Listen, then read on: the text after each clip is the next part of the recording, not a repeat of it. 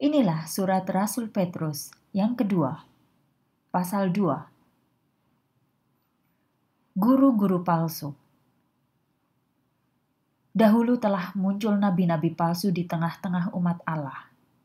Sekarang juga demikian halnya. Guru-guru palsu akan ada di dalam kelompokmu.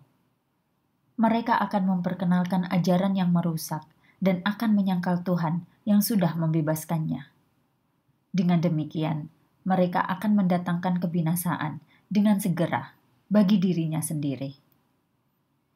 Banyak orang akan mengikut mereka dalam jalan kejahatannya, karena mereka jalan yang benar itu akan dihujat.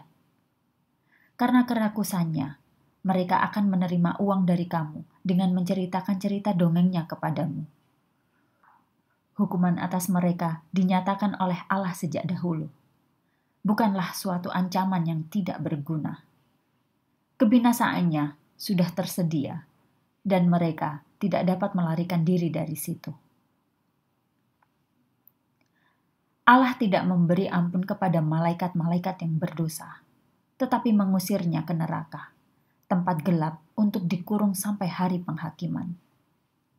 Allah juga menghukum orang zaman dahulu ia mendatangkan banjir di bumi yang penuh dengan orang yang tidak percaya kepadanya. Hanya Nuh dan tujuh orang lainnya dilindunginya. Nuh orang yang memberitakan tentang hidup yang benar.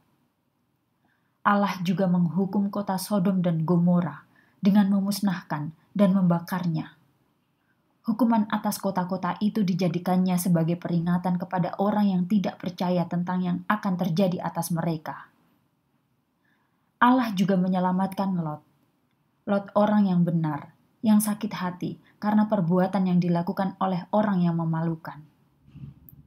Lot, orang yang benar itu, hatinya sangat susah karena perbuatan-perbuatan jahat yang dilihatnya dan didengarnya setiap hari, karena ia hidup di tengah-tengah mereka.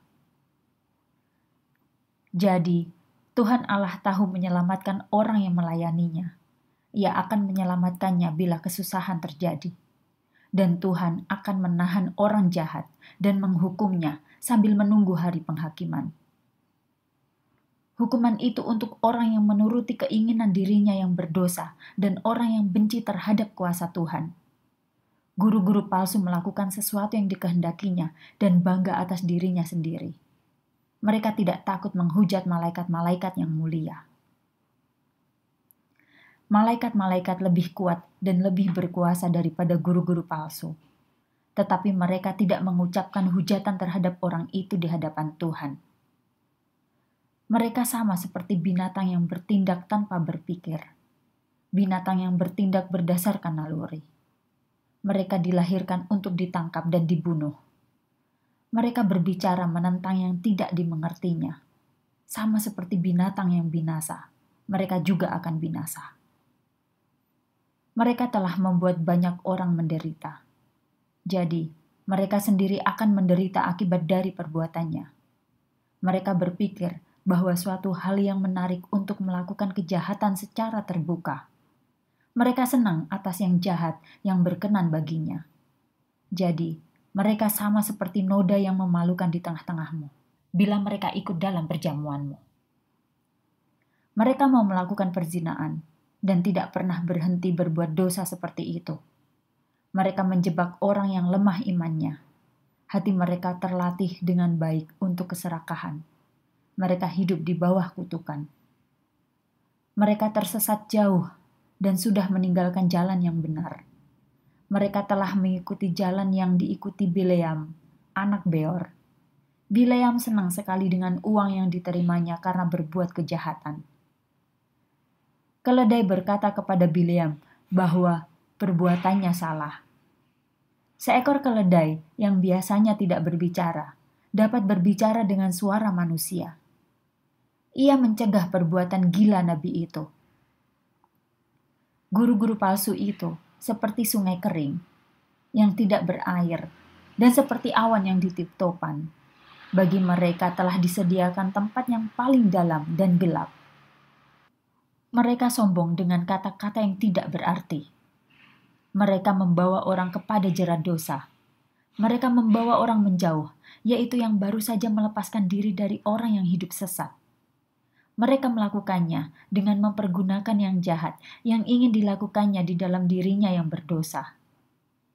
Mereka menjanjikan kebebasan kepada orang, tetapi mereka sendiri tidak bebas. Mereka hamba dari yang akan dibinasakan. Orang menjadi hamba dari yang menguasainya. Mereka itu telah dibebaskan dari hal-hal jahat di dunia ini. Mereka telah dibebaskan oleh pengenalan akan Tuhan dan Juru Selamat kita, Yesus Kristus. Jika mereka itu kembali kepada hal-hal jahat, hal-hal jahat itu menguasainya. Nasib mereka akan lebih buruk lagi daripada keadaan sebelumnya. Ya, lebih baik bagi mereka tidak mengenal jalan yang benar itu itu lebih baik daripada mengenal jalan yang benar, lalu kemudian meninggalkan ajaran suci yang sudah diberikan kepada mereka. Tepatlah yang disebutkan peribahasa ini yang terjadi pada mereka. Apabila seekor anjing muntah, anjing itu kembali lagi ke muntahnya. Dan setelah babi dimandikan, babi itu kembali berkubang dalam lumpur.